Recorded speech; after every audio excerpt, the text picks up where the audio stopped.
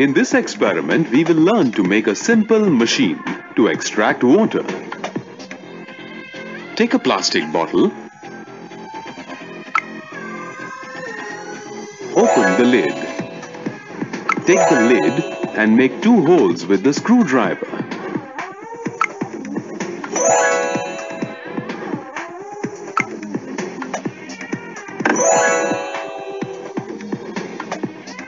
Take four pieces of straw.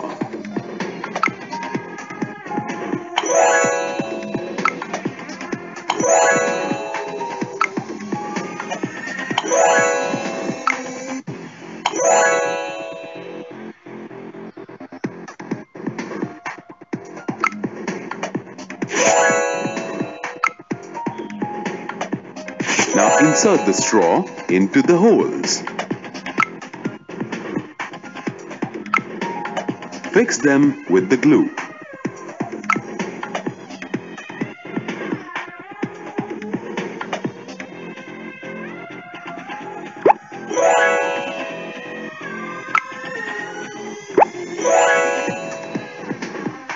Take a small stool.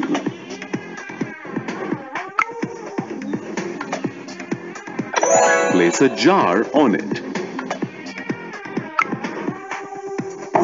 Take another jar and place it on the floor.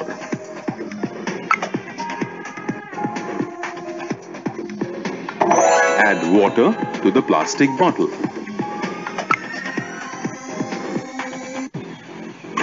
Add water to the jar on the stool.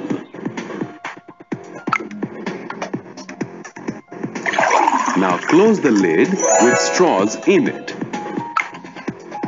Place the bottle between the two jars.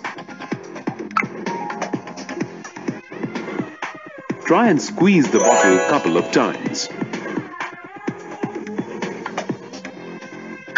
Now you'll see the water falling into the empty jar.